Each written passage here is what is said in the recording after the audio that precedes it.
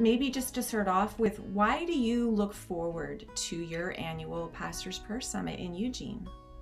I, I, always imagine what it was like in the church uh, in Jerusalem, uh, right there in the book of Acts, and seeing the apostles and the elders gathering together for extended periods of time to pursue God together.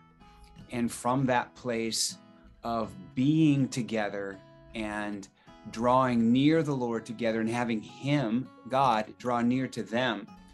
Um, what God does in that environment is beautiful, it's long lasting. Really, I think it has become a rhythm of family life for the churches in Eugene.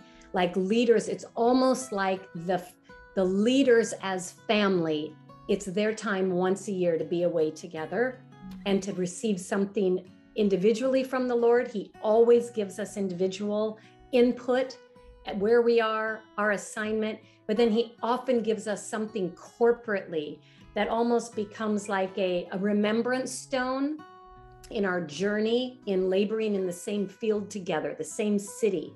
God will often give us something corporately that we're, we're walking in into that next year. What would you say to a pastor who's never met in this kind of format before, what can they expect to happen? I would say they could really expect um, to take off their leader hats. Everybody gets to everybody gets to take off their titles. Everybody gets to take off their roles. No one needs them to pastor. No one needs them to have answers. It's very restful. It's refreshing. They can expect having extended time of worship. They can expect uh, building a quality of relationship with other leaders.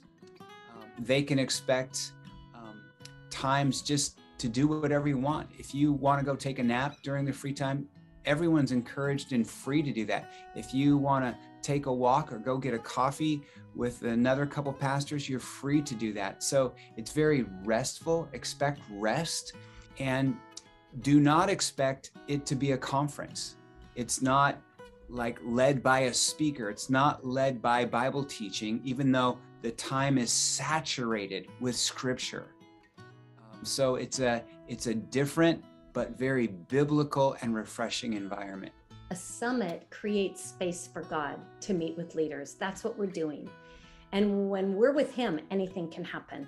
He knows exactly what each one of us needs. He knows exactly the season of time we're in in the cities that we're serving he knows exactly, like, we're all running this race, and He knows best what we need to um, really do it well.